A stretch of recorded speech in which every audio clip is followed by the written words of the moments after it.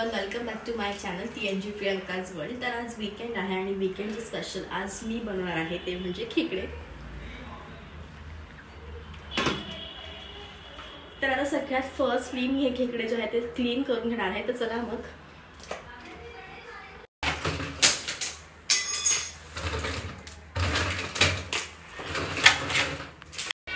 तर आता मी तुम्हाला खेकडे साफ करण्याची अगदी सोपी पद्धत सांगणार आहे. तर सगळ्यात आधी तर सगळ्यात आधी हे जे कवर असतं हे पूर्णपणे काढून घ्यायचं. म्हणजे हे जे आहे हे अगदी वेस्टेज आहे याचं काहीही यूज नाही आहे तर हे साईडला ठेवायचं. त्यानंतर हे जे सगळं दिसतंय तुम्हाला हे सगळं क्लीन करून घ्यायचं. आणि याच्या ज्या नांगे आहेत ते ऑलरेडी काढलेले आहेत.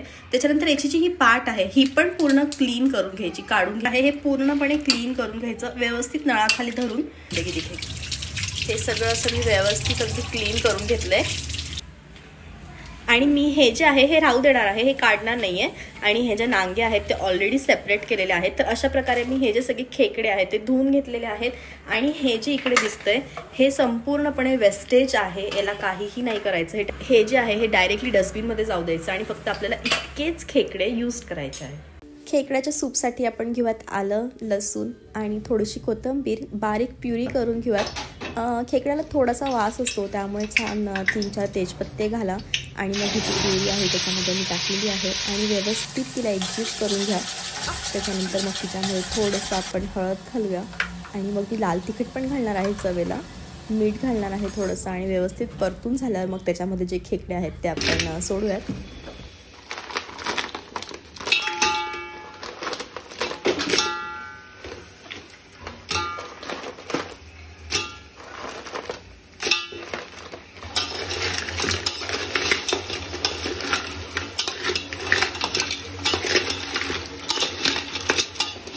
आता मी हे जे आहे हे शिजायला लावले आहे आणि याच्यावर मी आता काहीच टाकणार नाही पाणी वगैरे कारण याला पाच मिनिटं छान वाफ भरली.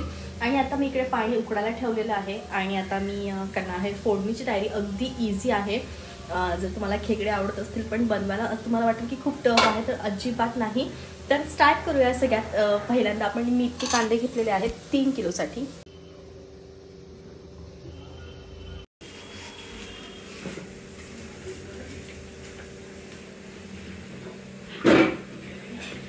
आणि मी इतके कांदे घेतलेले आहेत. जवळजवळ एक किलो कांदे दीड किलो कांदे मी घेतलेले आहेत. आणि आता इकडे छानपैकी वाफ भरलेली आहे खेकड्याला. बघू शकता. आता ही जी वाफ भरली आहे याच्यात आपण आता एक लिंबू हा पूर्ण पिळणार आहोत. लक्षात ठेवा आधी लिंबू नका पिळू. हा पूर्ण एक लिंबू मी याच्यावर पिळणार आहे.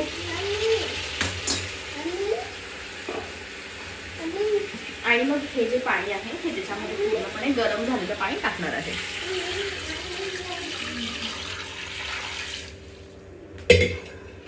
तुम्हाला पाण्याचं प्रिपरेशन किती घ्यायचं आहे हे एकाच वेळेस ठरवा कारण सारखं सारखं पाणी टाकल्याने त्याची चव जाऊ शकते. म्हणून एकाच वेळेस जितकं पाणी हवं आहे तितकं त्याच्यात टाका. आणि म्हणजे सगळा जो रस आहे तो त्या पाण्यामध्ये उतरेल आणि मला इतकं पाणी सफिशियंट आहे. याला आता व्यवस्थितपणे पूर्ण पॅक झाकून द्यायचं आहे जोपर्यंत हे छान शिजत नाही वरती काहीतरी हेवी ठेवा म्हणजे वाफ बाहेर येणार नाही आणि वाफमध्ये ते छान शिजेल. कांदा मी टाकते शिजायला. आणि त्याच्यात घालते मी आठ दहा मिरे त्यानंतर मग लवंगा दोन तीन पत्थर फूल. आता आमच्या घरी ज्याप्रमाणे खातात मी त्याप्रमाणे याच्यामध्ये तिखट टाकलंय काळा मसाला घातलाय त्यानंतर हळद घातली आहे हळद थोडीशी जास्त घाला. आणि धणेपूड घातली आहे. त्यानंतर मग मी भाजलेला मस्त छान कांदा लसूणचा याच्यामध्ये मसाला घातलेला आहे जो मी आयता आणला होता. तर हे सगळं साहित्य मी याच्यामध्ये घातलेलं आहे. याप्रमाणे असतो हा कांदा लसूण मसाला. तर मी हा अजून एक चमचा याच्यामध्ये घालते आहे. याच्याने खूप जास्त स्पायसीनेस येतो आणि भाजीला रंगही खूप छान येतो. त्यामुळे जर तुमच्याकडेही असेल कोणत्याही कंपनीचा असू द्यात फक्त टेस्ट बघा थोडी स्पायसी असेल तर नक्की हा तुम्ही एक टेबलस्पून याच्यामध्ये तुम्ही घालू शकतात.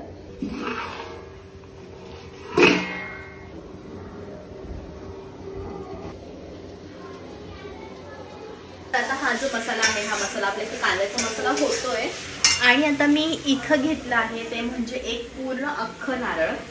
हे नारळ घेतलं आहे. आणि आता हे नारळ मी मिक्सरमधून अगदी बारीक जसं आपण काळा मसाला बारीक वाटतो तसं वाटून घेणार आहे. आणि मेन या संपूर्ण भाजीमध्ये हेच इम्पॉर्टंट आहे की तुम्ही किती याच्यामध्ये शुद्ध आणि छान नारळ घालताय. तर हे पूर्ण नारळ आता जाणार आहे या भाजीमध्ये. सो हा मसाला मी वेगळा वाटणार आहे. त्यानंतर मी हे नारळ पाणी नारळ जे आहे ते वेगळं वाटणार आहे. इकडे मी आलं लसूणची पेस्ट बनवून ठेवली आहे. इकडे मी लाल तिखट आणि काळा मसाल्याची पेस्ट बनवून ठेवली आहे. तर असं सगळं प्रिपेअर आहे. फक्त वाट बघूया शिजण्याची.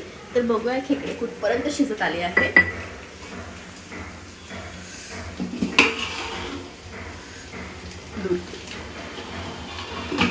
तर अजूनपर्यंत हे तरी शिजलेले नाही आहेत तर मग शिजू द्या.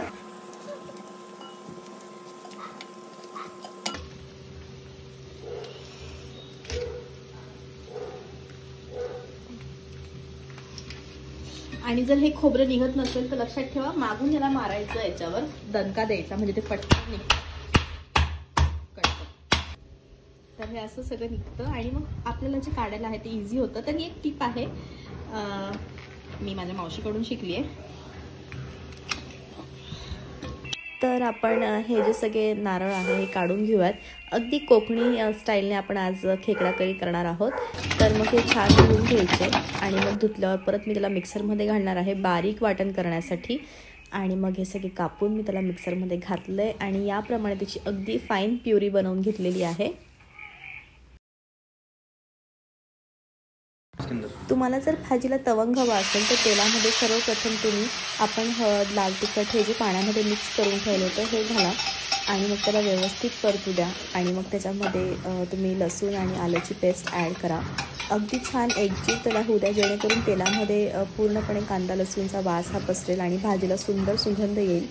तर त्यानंतर मी याच्यामध्ये पूर्ण नारळाची प्युरी घालणार आहे. जितकी मी बनवली आहे तितकी सगळी. थोडं हळूहळू घाला. म्हणजे व्यवस्थित एकजीव होईल ती.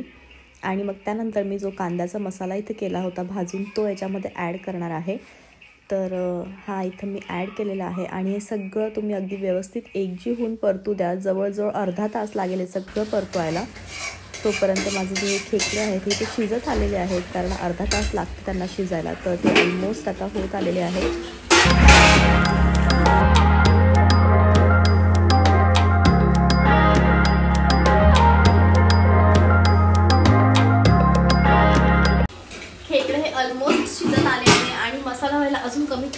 पंधरा मिनटं आहे कारण कच्चा नको राहिला.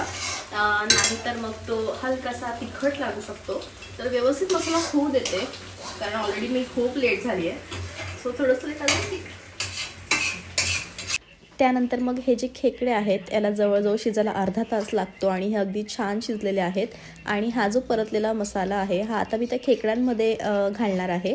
कारण खेकड्यांसाठी मी ऑलरेडी मोठं पातेलं घेतलं होतं. त्यामुळे मग हा सगळा मसाला त्यामध्ये घालून आणि मग छानपैकी एक पाच मिनटं त्याला व्यवस्थित एकजीव होईपर्यंत मिक्स करायचं आहे आणि मग त्यानंतर हा इतकं त्याला पाणी मी तुम्हाला आधीच म्हटलं होती की जितकं पाणी लागते तितकं एकाच वेळेस घाला तर इतकं पाणी मला सफिशंट होतं. आणि जर तुम्हाला अजून आमटी करायची असेल तर तुम्ही याच्यामध्ये पाणी घालू शकतात. पण तेही जेव्हा तुम्ही सूप करताय त्याच वेळेस नंतर पाणी अजिबात नाही घालायचं. आणि मग याला दहा मिनटं वाफ दिल्यावर याच्यामध्ये छानपैकी मी कोथिंबीर घालणार आहे. आणि अतिशय छान झणझणीत अशी माझी जी खेकड्याचा रस्सा आहे तो रेडी झालेला आहे. तर कलर तुम्ही बघू शकतात आणि टेस्टही आता कळेल. सगळ्यांनी खाऊन बघितल्याने कशी झाली आहे तर.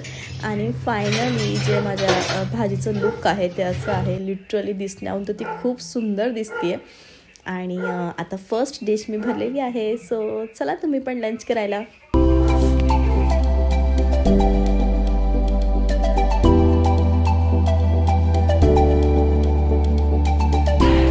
थँक्यू फॉर वॉचिंग अँड जर तुम्हाला माझा ब्लॉग आवडला असेल तर प्लीज सबस्क्राईब करायला विसरू नका. बेल आयकॉन प्रेस करा म्हणजे माझे सगळे व्हिडिओज तुमच्यापर्यंत व्यवस्थित पोहोचतील. अँड भेटूया आपण लवकरच नेक्स्ट ब्लॉगमध्ये तोपर्यंत bye and have a nice Sunday take care